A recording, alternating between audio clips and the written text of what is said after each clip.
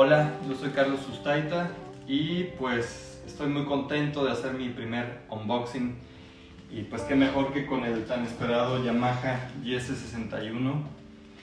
Eh, este tuve la oportunidad de probarlo hace un año en el NAM cuando lo presentaban por primera vez, pero fue de rápido, o sea, fui los dos días a probarlo, pero con tanto ruido y tanta gente, o sea, no tuve realmente chance de probarlo con calma. Y pues he estado esperando, he estado viendo videos, pero pues no hay como realmente uno probarlo por sí solo. Y pues nada, empecemos. Eh, a ver, abrimos. Tenemos el manual de instrucciones. No es por nada, pero siempre es bien bonito este, abrirlos. Siempre han estado muy bonitos. Y, este, y pues uno puede entrar a, detalle. Eh, está en la primera parte está en inglés y avanzamos y pues está en, en español para quien quiera. Siempre es bueno leerlo de, de, de las dos maneras. Este, a mí me gusta leerlo primero en inglés y luego en español y uno va afianzando este, y aprendiendo un poco más del, del teclado. Estoy ahora, ahora, sí que muy emocionado. Vamos a ver. Vamos a ver cómo lo agarramos. A ver, lo voy a poner tantito aquí en esta base que ya preparamos para esto. A ver, empezamos a quitar el plastiquito.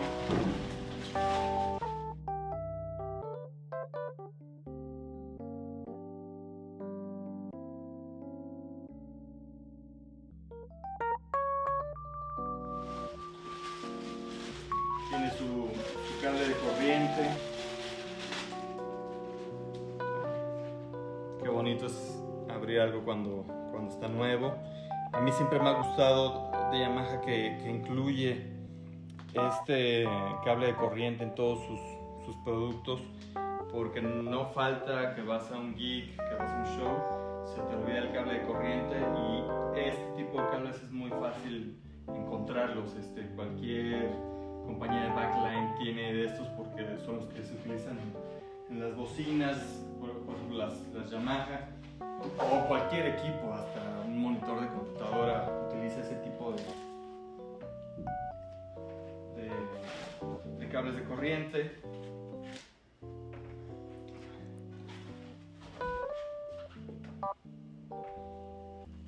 Pues es la primera vez que me toca verlo ya aquí en, en mi estudio. Está muy bonito, está muy bonito el diseño. Digo, ya lo había visto en fotos vez en el NAM. Pero wow. Este.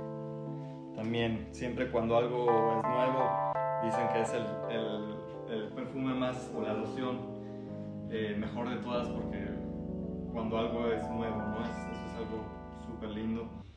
Eh, esto yo venía esperándolo desde hace varios años, la onda de, de las barras de, de órgano porque eh, es uno de los instrumentos en los que más me especializo y tener las barras reales y no presets en el órgano para mí es fundamental porque puede ser mucho más expresivo, eh, puede ser muy sutil con los cambios de, de barras de sonidos. También eh, siempre decía, ay, ¿por qué no sacan un teclado eh, compacto que tuviera todo eso, que, tuvieras un buen piano, que tuvieras barras y que tuvieras pitch bend.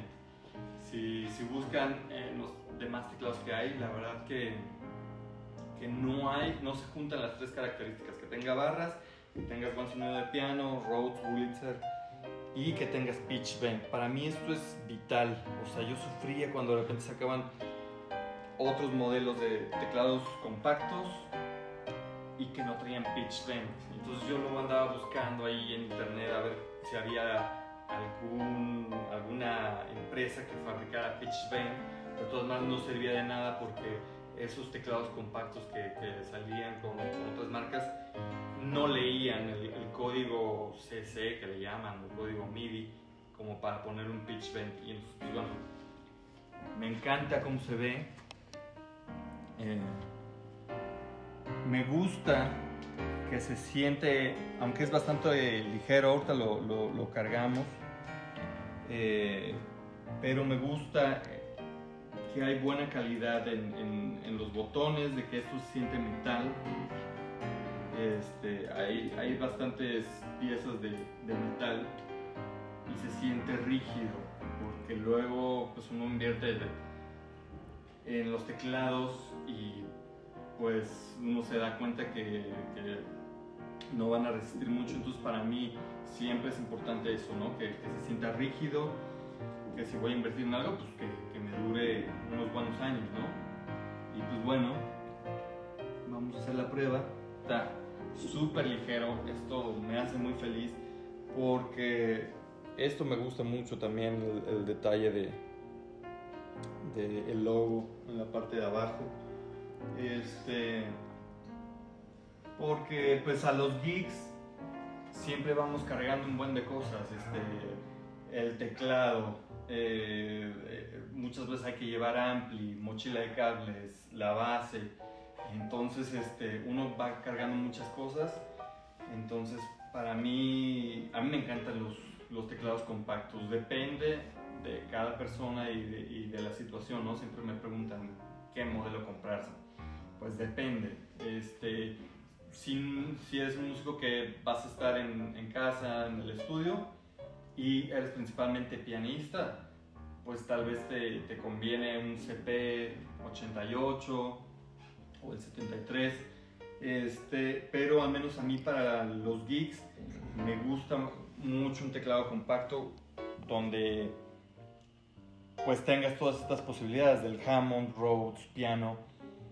Y también este me ha gustado mucho porque también de pronto uno va a festivales eh, o te invitan a tocar fuera y luego no sabes qué teclados van a ver, si te vas a sentir a gusto y, siento que este teclado va a ser muy buena opción para llevártela en un vuelo, para llevarte en el autobús, para subirte a un Uber y también llegar a un festival, llegar a un show pedir que te pongan un montage, pedir que te pongan un CP88, un motif, que es más, más común que puedas pedir un montage o un motif y que te lo, te lo pongan, uno de 88, y poder poner este en la parte de arriba, o sea, queda, queda perfecto. Entonces, se me hace que es un teclado con muchas posibilidades, ¿no? De que ya va a estar cubierto con un montage con un motif en la parte de abajo para el peso y los sonidos de, de piano.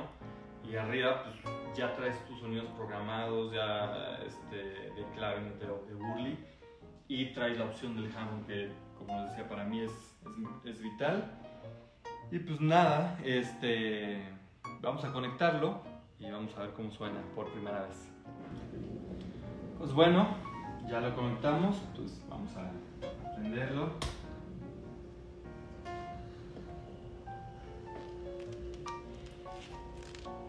tiene su, su pantallita donde uno puede ver qué, qué, sonido es el que está. En este teclado, luego la gente se espanta cuando ve muchos botoncitos, pero la verdad hay que verlo de, de izquierda a derecha. Tenemos aquí el, el volumen del master. Este, aquí tenemos la sección de, de órganos, eh, también tanto de, de bulbos como de transistores. Aquí tenemos nuestros podemos salvar nuestros presets. Aquí estoy viendo la sección de, teclados, eh, pianos eléctricos, sinte y otros sonidos. Aquí efectos. Aquí emulación de amplificadores. Aquí tenemos reverb. Y aquí podemos ecualizar un poquito. Entonces, este, como les decía, lo estamos abriendo y es bastante intuitivo, ¿no? Entonces, pues bueno, vamos a escuchar el, sonido de piano.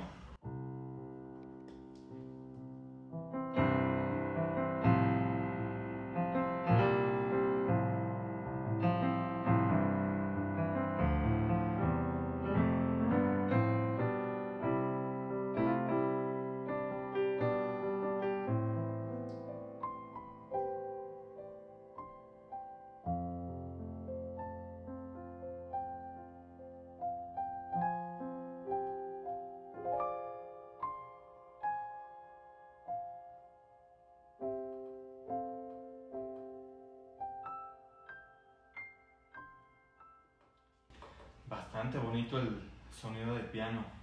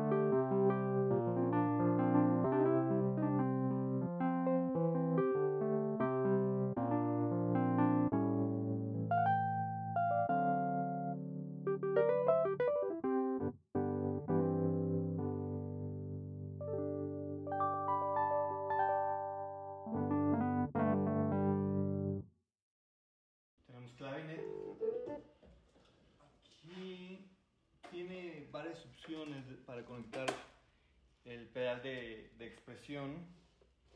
Lo había dejado conectado en, el- en la, en la primera asignación, que sería para, para el Hammond, pero bueno, ahorita lo cambié de lugar. Tiene, tiene un efecto de, de wah.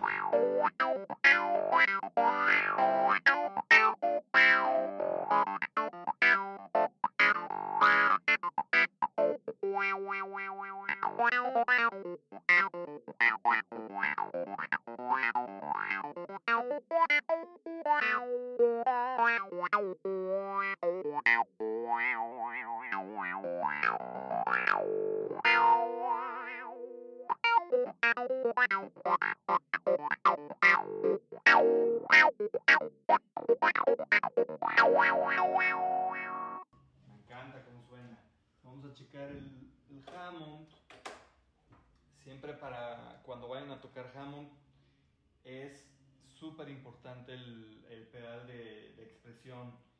Eh, al Hammond lo que le da vida es un conjunto de muchas cosas. Este, las barras, que por eso son tan importantes, que se sienten súper bien. Eh, el pedal de expresión, yo incluso prefiero decirle llama- eh, llamarle pedal de expresión que, que de volumen, porque es justo para eso, para, para que sea más expresivo el, sonido. Entonces, pues a ver. Vamos a. Una llave,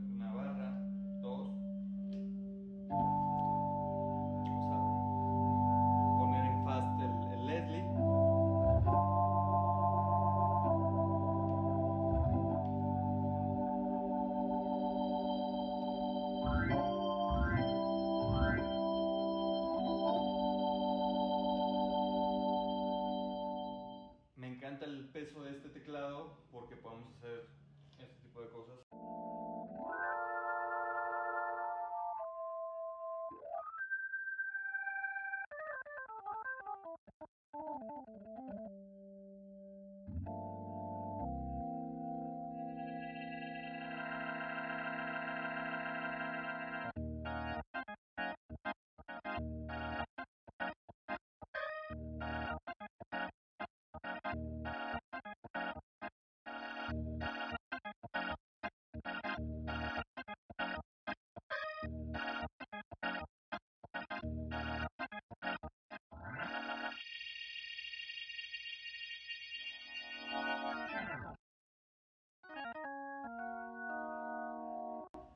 el órgano hay que irlo aprendiendo con los años eh, para sacar los diferentes sonidos. Eh, de pronto, sonidos más, más como de, jazz, eh, el clásico con el percussion.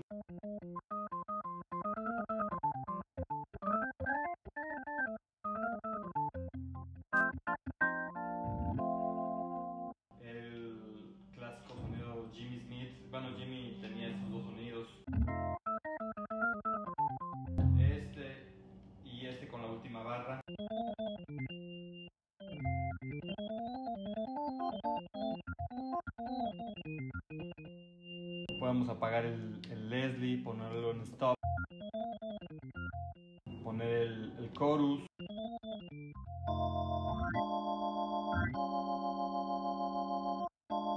Entonces uno va aprendiendo los, los diferentes sonidos, este,